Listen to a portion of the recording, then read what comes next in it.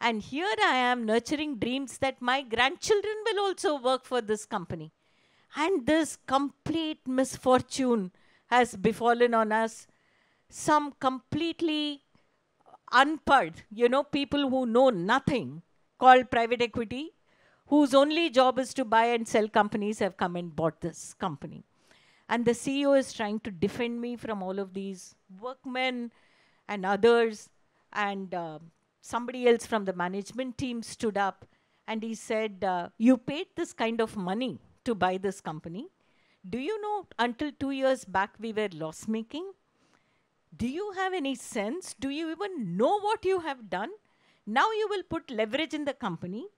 You will sweat us all out to bail you out for the stupid mistake that you have done, right? So, this is how the journey began. And our first board meeting, uh, my uh, CEO, who was conducting a board meeting for the first time, I chose to be the chairman of the company. These were early days of buyouts. I had to literally pave the way of how a buyout to be, to be done. We are sitting like this, Nishith. So he obviously is doing a first board meeting, is very nervous. Up until then, the on only mandate the CEO had was don't send me a loss The CFO of the parent company will say, when it comes to consolidation, I don't want a red number from you. बाकी तुम जो मर्जी करो हमको पैसा मत पूछो हमको लॉस नहीं देना right this is the brief now you are in a totally different context where you are the driving force you have to create value and he is nervous that he is talking to financial investors who are very numerical, very astute. So he starts, puts up the first slide. Delhi sales up by 60%, right? So he wants to kind of immensely, Im immediately please me.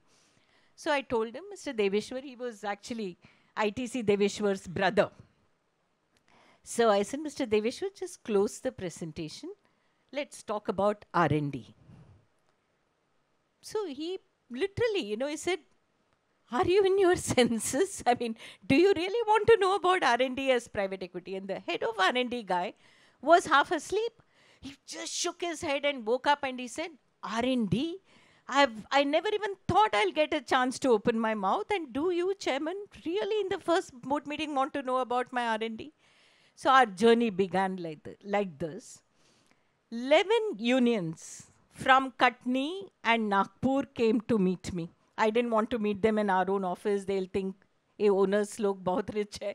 So I met him in a little more sober office, gave their mouthful of gullies to me and said, Who asked you to buy this? You know, we don't want to work here anymore.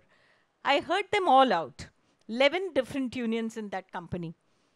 And my legal guy was very worried. Mr. Deveya used to be my head of legal. He was trying to protect me. He was trying to keep some police ready and all of that. Ki bande kya kar, jaye, kar? I told him, you relax, kuch nahi hoga. At the end of the meeting, I said, मैंने सबका सुन लिया है. अभी मैं जो कुछ भी बोलूँगा अच्छा ही बोलूँगा। आपके सामने तो मैं बुरा नहीं बोलने वाली हूँ। और इसी क्षण में आपको बहुत मीठा लगेगा, बहुत अच्छा लगेगा। जैसे आप दरवाजे से बाहर जाओगे, आपको याद आ जाएगा कि मैडम की बात को मैं यकीन कैसे करूँ? जब वो बोली अच्छा लगा, लेकिन वेदर शी विल एक्चुअली निभाव इट वो तो आपको डाउट आ जाएगा। फिर आप वापस वही स्थिति पे चले जाओगे you will not believe me ऐसे हम एक काम करते हैं। एक साल के लिए मैं आपके ऊपर पूरा भरोसा रखने के लिए तैयार हूँ। I am going to ask you nothing I am just going to give you unquestioned trust Can you give me unquestioned trust for one year? So they all felt that was a reasonable deal.